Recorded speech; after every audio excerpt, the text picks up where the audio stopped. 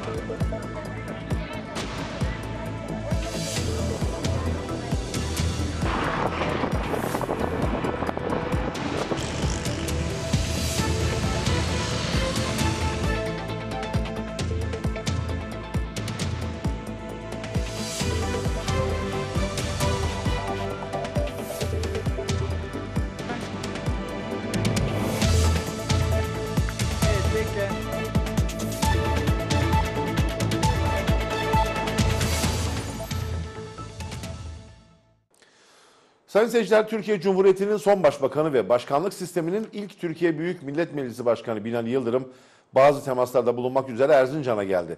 Başkan Yıldırım Erzincan valiliğini ziyaret etti. Bak bak.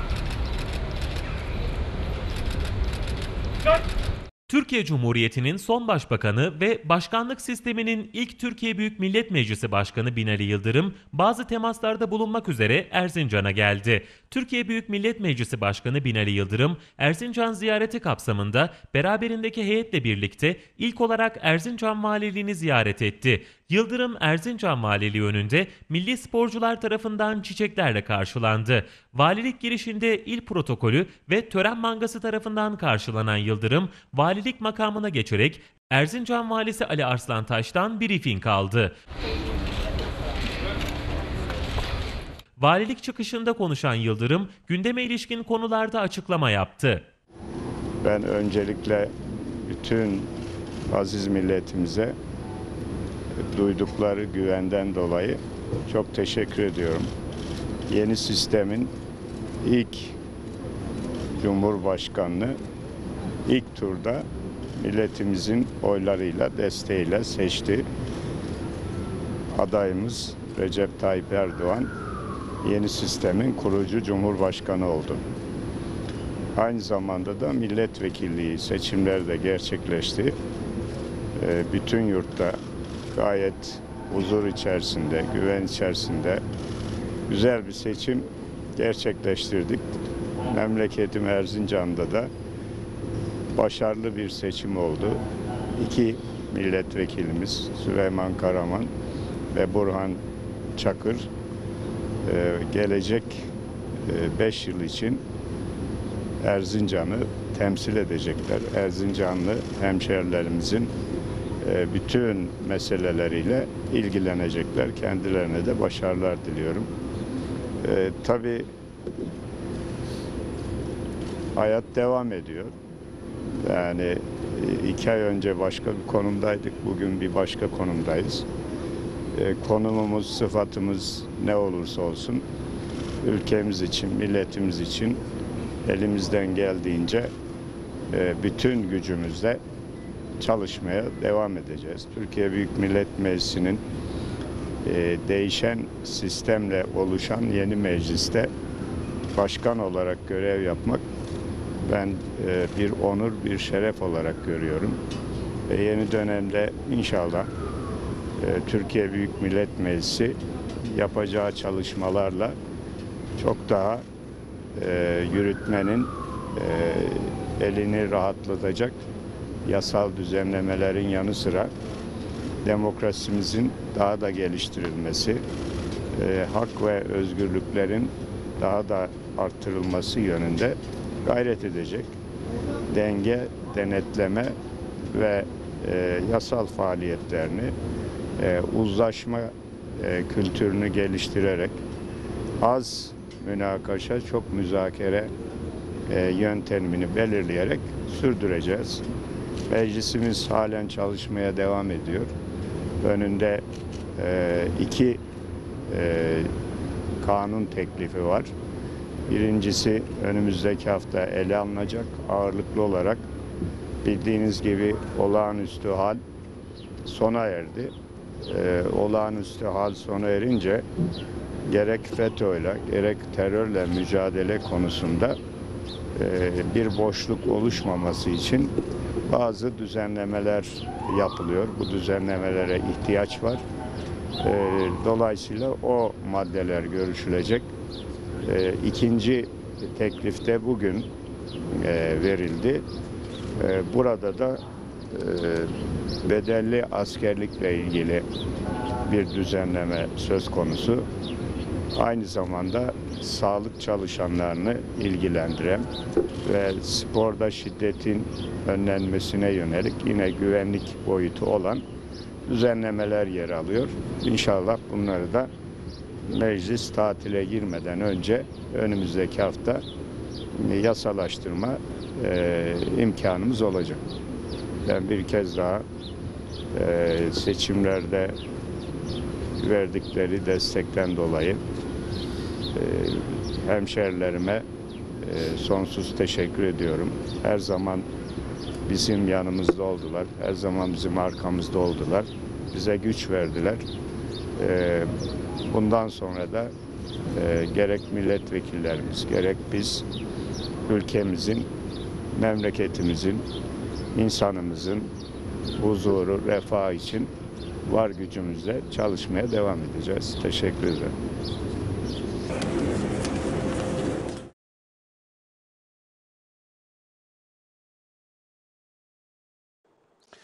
Bazı ziyaretlerde bulunmak üzere Erzincan'a gelen Türkiye Büyük Millet Meclisi Başkanı Binali Yıldırım, Erzincan Belediyesi'ni ziyaret etti. Yıldırım, Belediye Başkanı Cemalettin Başsoy'dan belediye çalışmaları hakkında bilgi aldı.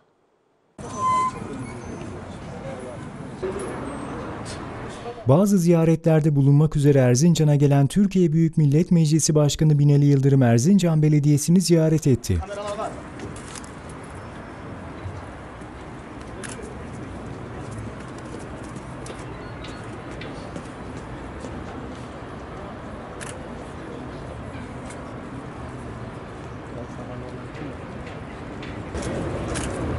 Yıldırım belediye girişinde törenle karşılandı.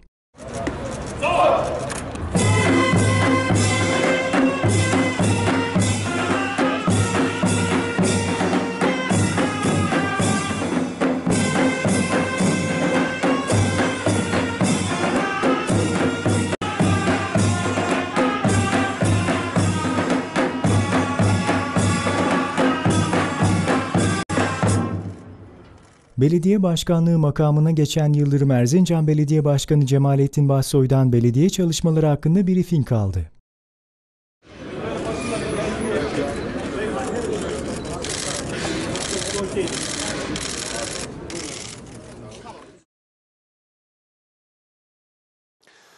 Sayın seyirciler Erzincan Binali Yıldırım Üniversitesi Rektörlüğüne atanan Profesör Doktor Akın Levent görevi Profesör Doktor İlyas Çapoğlu'ndan devraldı.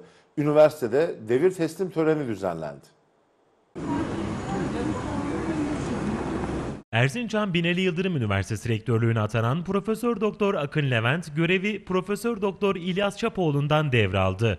Üniversitede devir teslim töreni düzenlendi. Erdoğan Büyükkasap Kongre Merkezi'nde düzenlenen törene Erzincan Valisi Ali Arslantaş, üniversite yönetimi, bazı kurum müdürleri, sivil toplum kuruluşu temsilcileri ve davetliler katıldı. Programda konuşan Profesör Doktor İlyas Çapoğlu, rektörlük görevini 10 yıldan bu yana sürdürdüğünü belirterek üniversitenin gelişimi için çaba sarf ettiklerini dile getirdi. Erzincan Binali Yıldırım Üniversitesi 2010 yılında Erzincan Üniversitesi adıyla bize bu görevi tevdi ettiler ve bu sorumluluğu üzerimize yüklediler. O zaman göreve başladık. Geçen bir yerde ifade etmiştim. 15 Temmuz'dur göreve başlama zamanımız. 15 Temmuz ulusumuz için, ülkemiz için çok anlamlar ifade ediyor. Hepimiz bunu biliyoruz. Biz 15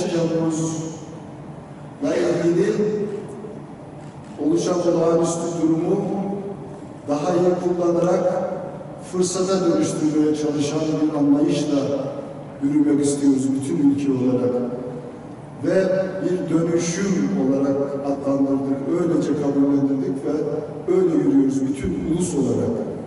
Rektörlük görevini devralan Erzincan Binali Yıldırım Üniversitesi Rektörü Profesör Doktor Akın Levent ise görevini en iyi şekilde yürüteceğini ve üniversitenin tüm yönlerden gelişimi için çalışacağını belirtti.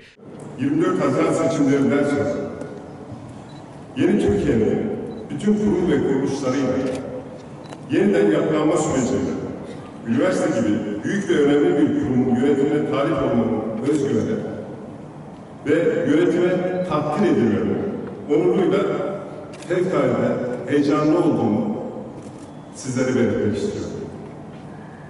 Doğup büyüdüğüm İlk orta ve lise tahsilini yaptığım, daha sonra da bir SSK hastanesinde, biraz evvel belirtildiği gibi özgeçmişimde çalıştığım ve çok sevdiğim Erzincan ismini veren Sayın Meclis Başkanımız Binali Yıldırım'ın ismini alan Erzincan Binali Yıldırım Üniversitesi'nin yönetmen. Şerefini bana layık gören. Sayın Cumhurbaşkanımız Recep Tayyip Erdoğan'a buradan minnet duygularımı ve teş- teşekkürlerimi arz etmek istiyorum.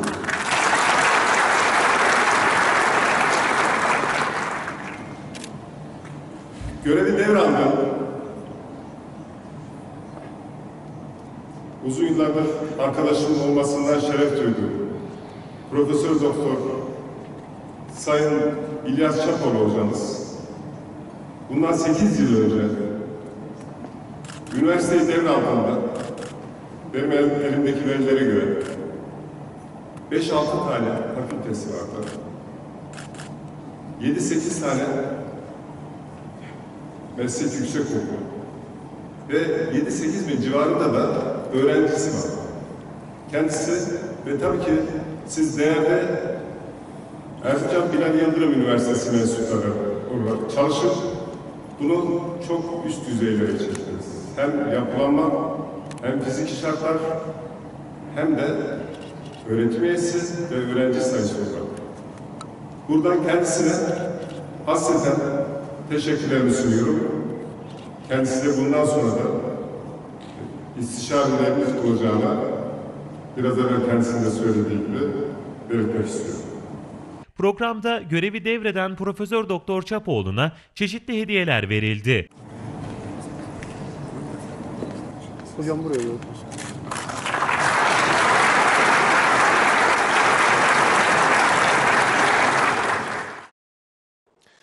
Organize Sanayi Bölgesi Müteşebbis Teşekkül Heyeti toplantısı Erzincan Valisi Ali Aslantaş Başkanlığında yönetim kurulu üyelerinin katılımıyla yapıldı.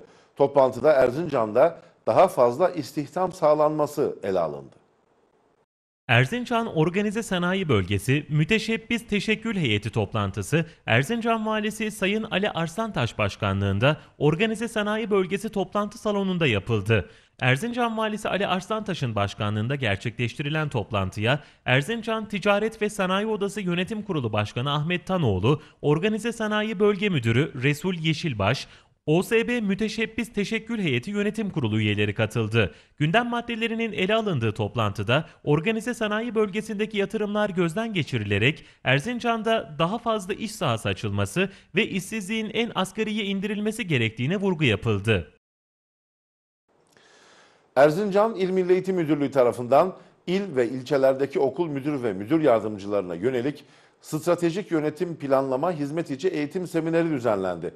Eğitim sistemindeki düzenlemelerin konu edildiği seminer 30 saat sürecek.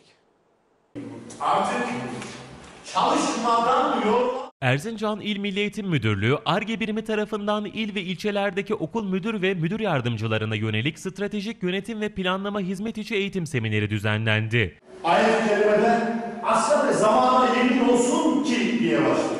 ARGE birimi tarafından Erzincan'da güçlü yönetilen kurumlar oluşturmak adına organize edilen seminer 30 saat sürecek. Seminere stratejik planlama uzmanı Kocaeli Milli Eğitim Müdürlüğü, ARGE Birimi Araştırma, Geliştirme ve Stratejik Planlama Koordinatörü Murat Arif Metin, eğitim uzmanı olarak katıldı. Kurs hakkında bilgi veren Erzincan İl Milli Eğitim Müdürü Aziz Gün, yaptığı konuşmada düzenlenen eğitim programının önemine değindi. Takvim herkes için aynıdır. Çünkü bir gün herkes için 24 saattir. Bir yıl herkes için 365 gündür. Bir hafta herkes için 7 gündür. Ama zaman herkes için farklıdır. O zamanın içini doldurabildik mi? Mühim olan zamanın içini doldurabilmek veya mühim olan zamana hükmedebilmektir. İl Milli Eğitim Müdürü Gün, kursa konuşmacı olarak katılan ARGE Koordinatörü Metin'e bakır saat hediye etti. Sayın seyirciler Erzincan'da sürücüsünün direksiyon hakimiyetini kaybettiği motosiklet şarampole yuvarlandı. Kazada motor sürücüsü yaralandı.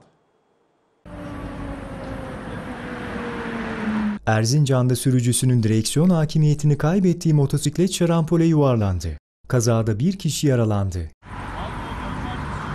Kaza, sabah saatlerinde Erzincan-Sivas karayolu üzerinde yapımı devam eden kesim evi önü çevre yolunda meydana geldi. Şehir merkezi istikametine seyir halinde olan plakası öğrenilemeyen motosiklet, sürücüsünün direksiyon hakimiyetini kaybetmesi sonucu yoldan çıktı. Motosiklet 10 metrelik şarampole yuvarlandı. Kazada motosiklet sürücüsü yaralandı. Yaralı motosiklet sürücüsü çevredeki vatandaşların haber vermesi üzerine olay yerine gelen ambulansla Erzincan Mengücek Gazi Eğitim ve Araştırma Hastanesi'ne kaldırılarak tedavi altına alındı. Evet haber bültenimizin bu bölümünde Erzincan'daki ibadethanelerin tanıtıldığı manevi mekanlarımız bölümü var. Bugün sizlere Kandilli Camii'ni tanıtacağız.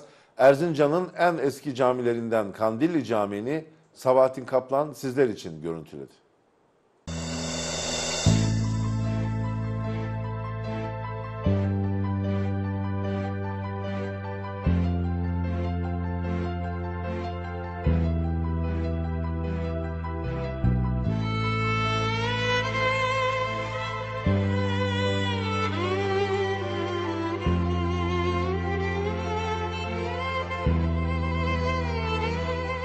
Erzincan 13 Şubat Caddesi üzerinde Çarşı Mahallesi sınırlarında bulunan Kandilli Camii İmam Hatibi Naim Yılmaz, cami hakkında detaylı bilgi verdi.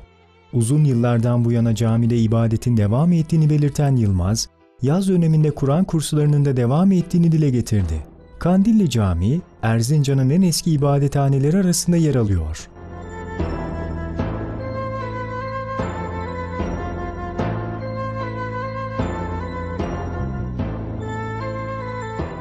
Yaklaşık 24-25 yıldır bu camide görev yapmaktayım. Camimiz 1978 yılında yapılmış. Daha önce burada ahşap küçük bir cami varmış. Minaresi de ahşap, kendisi de ahşap. Bu cami sökülerek yerine bu cami inşa edilmiş. Bu camimizin toplam arsasıyla beraber alanı 1167 metrekare. İç alanı yani ibadet yapılan alanı 500 metrekare. Ee, cemaat kapasitesi toplam al- alınan cemaat kapasitesi 750 kişi.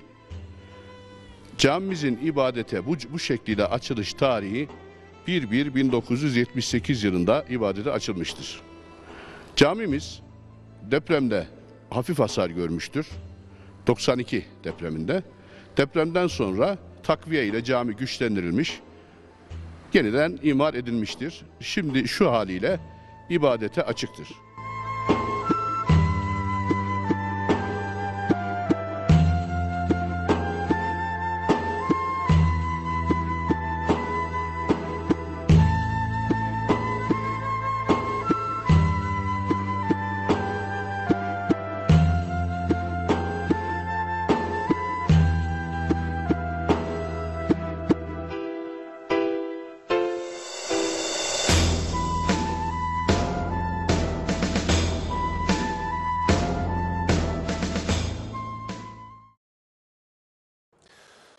Erzincan'ın Üzümlü ilçesinde jandarma ekipleri tarafından yapılan operasyonda yurda yasa dışı yollardan girdikleri tespit edilen çoğu Pakistanlı 33 kaçak göçmen yakalandı.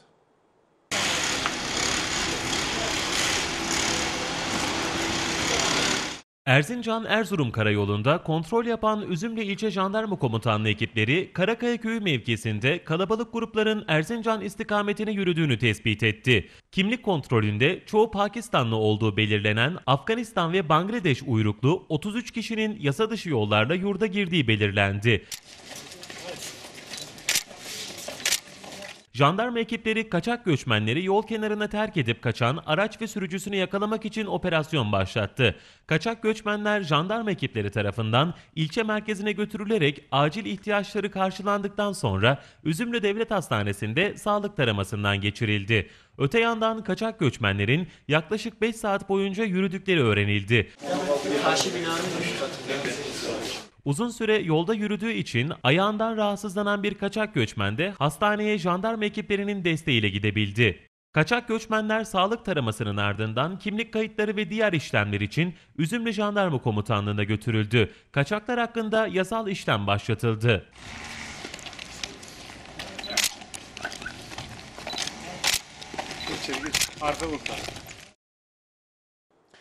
Erzincan Müftülüğü'ne bağlı Kur'an kurslarında eğitim gören öğrencilerin yararına kermes açılışı yapıldı.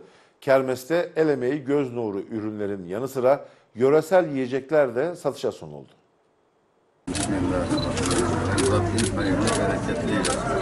Erzincan Müftülüğü'ne bağlı Kur'an kurslarında eğitim gören öğrencilerin yararına kermes açılışı gerçekleştirildi.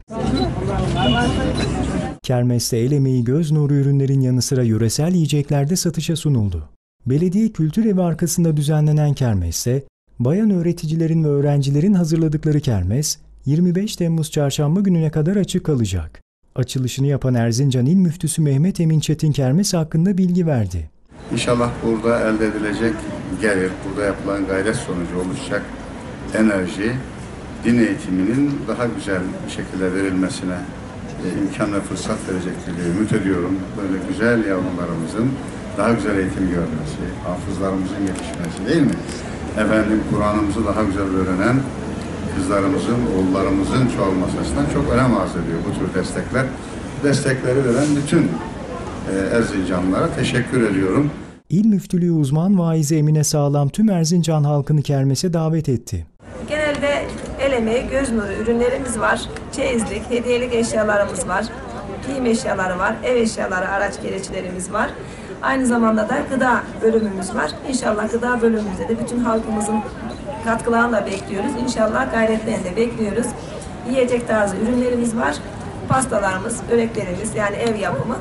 İnşallah bunlar da kermesimizde bir hafta boyunca hazır bulunacaktır. Halkımızdan destek bekliyoruz inşallah. Sayın seyirciler Erzincan Çağlayan beldesi karayolundaki asfalt çalışması nedeniyle ulaşım tali yoldan sağlanıyor. Burada zaman zaman sıkışan araçlar trafiği aksatırken sürücüler de zor anlar yaşıyor. Erzincan Çağlayan beldesi ve birçok köyün ulaşımının sağlandığı yolda asfalt çalışması yapıldığından ulaşım tali yoldan sağlanıyor. Yolun dar olması nedeniyle araç sürücüleri zor anlar yaşıyor. Yolda sıkışan araçlar trafiğin aksamasına neden oldu. Uzun kuyrukların oluştuğu tali yolda araç sürücüleri zor anlar yaşadı. Erzincan Belediyesi tarafından il genelinde yürütülen asfalt çalışmaları devam ediyor. Altyapı çalışmaları tamamlanan kentte bu yıl sezon boyunca başta ana caddeler olmak üzere asfalt çalışması yürütülecek. Erzincan Belediyesi tarafından il genelinde yürütülen asfalt çalışmaları devam ediyor. Altyapı faaliyetlerinin %100'e yakın oranında tamamlanmasının ardından belediye tarafından üst yapı faaliyetleri yürütülüyor. Can suyu projesi, doğalgaz, elektrik hatlarının yer altına alınması, TürkSat hattı, telekom faaliyetleri nedeniyle il genelinde bozulan yollar belediye ekipleri tarafından asfaltlanıyor. Bu yıl ayrıca kaldırımı yapılmayan mahallelerde de kaldırım yenileme çalışmaları yürütülecek. Kenti daha yaşanabilir hale getirmek ve şehirde modern görüntü oluşturmak için çaba sarf eden Erzincan Belediyesi ekipleri sezon boyunca çalışmalarını sürdürecek. Sayın seyirciler sanat dünyasından bir yıldız daha kaydı. Birleşmiş Milletler Eğitim, Bilim ve Kültür Örgütü UNESCO tarafından 10 yıl önce yaşayan insan hazinesi kültürel miras taşıyıcısı seçtiği 85 yaşındaki saz üstadı Hayri Dev tedavi gördüğü hastanede hayatını kaybetti.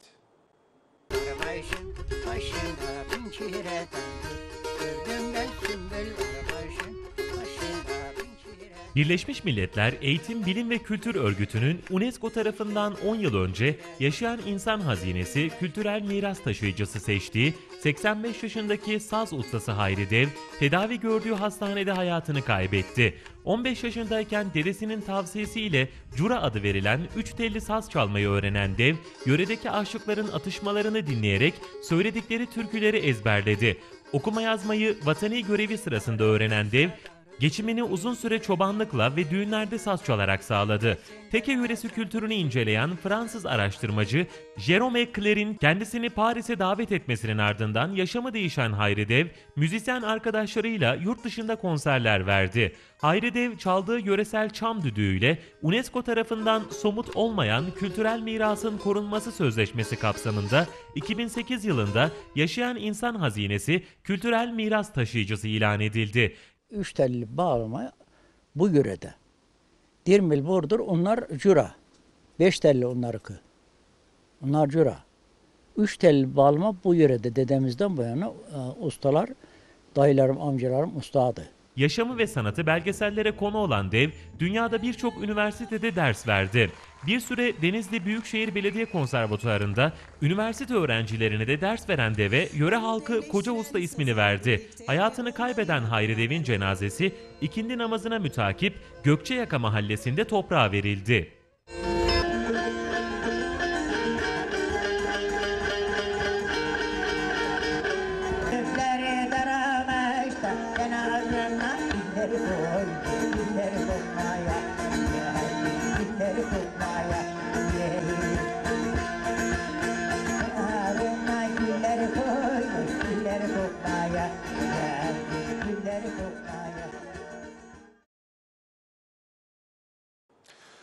Evet sırada bölgeden haberler var. Elazığ'da Fethullahçı terör örgütü paralel devlet yapılanmasının mahrem askeri yapılanmasına yönelik soruşturma kapsamında 12 ilde düzenlenen operasyonda 19 şüpheli gözaltına alındı.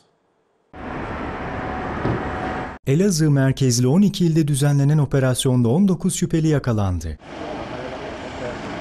Elazığ Cumhuriyet Başsavcılığınca yürütülen soruşturma kapsamında ankesörlü telefon aramasıyla tespit edilen 15 muvazzaf, 19 askeri personel hakkında gözaltı kararı verildi. İl Emniyet Müdürlüğü Terörle Mücadele Şubesi ekiplerince Elazığ, Ankara, Balıkesir, Kahramanmaraş, Afyonkarahisar, Kırıkkale, İstanbul, İzmir, Erzurum, Antalya, Sakarya ve Kayseri'de belirlenen adreslere düzenlenen eş zamanlı operasyonda 19 şüpheli yakalandı.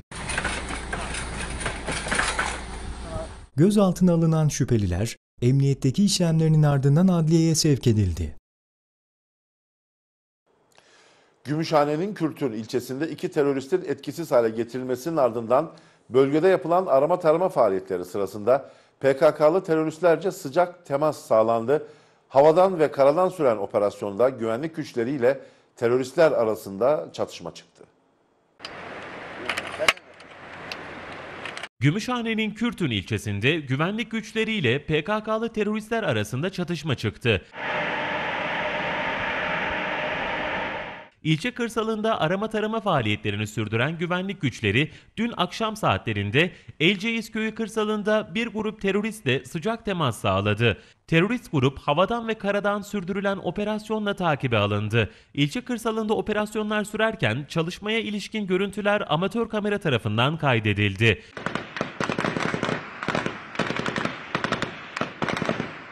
İlçenin Üçtaşköyü kırsalındaki operasyonda 15 Temmuz'da PKK'nın sözde Karadeniz sorumlusu olduğu öğrenilen terörden arananlar listesinin kırmızı kategorisinde yer alan Zeynel Kod adlı Mehmet Yakışır ve Rodi Kod adlı Levent Dayan etkisiz hale getirilmişti.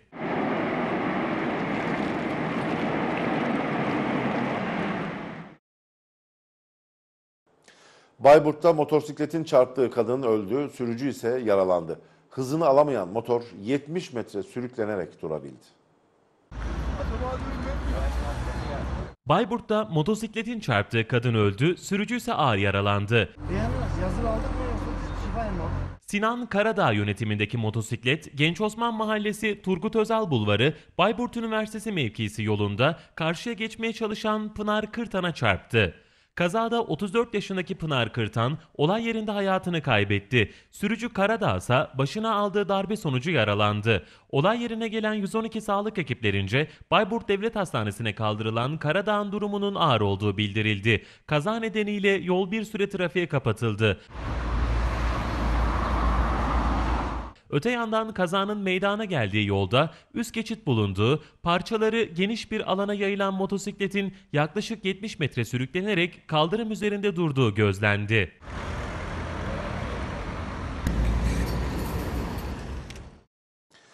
Sivas'ta aralarında husumet bulunan iki aile arasında çıkan kavgada 7 kişi yaralandı. Kavgada taraflar güçlükle ayrıldı. Sivas'ta aralarında husumet bulunan iki aile arasında çıkan kavgada 7 kişi yaralandı. O.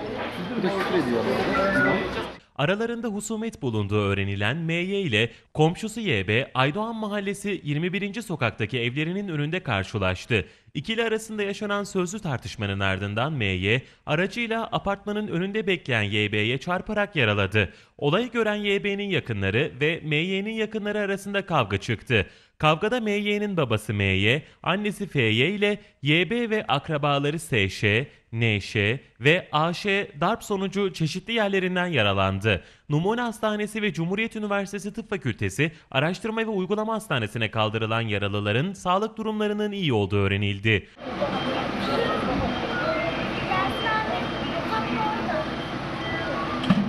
Polis ekipleri mahallede ve yaralıların kaldırıldığı hastanelerde geniş güvenlik önlemi aldı.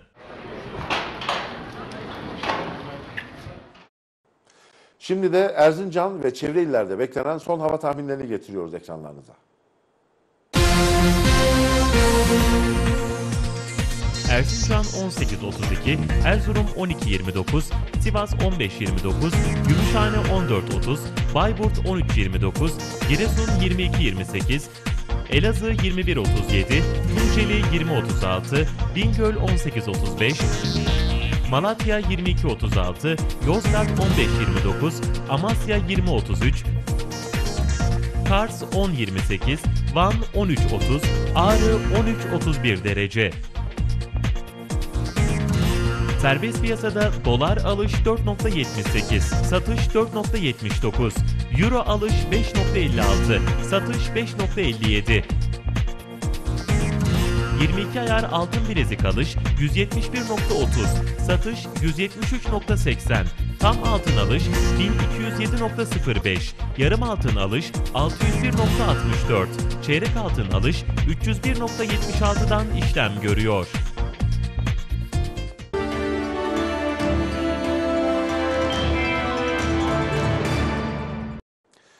ERT Haber Merkezi'nce hazırlanan haber bültenini izlediniz.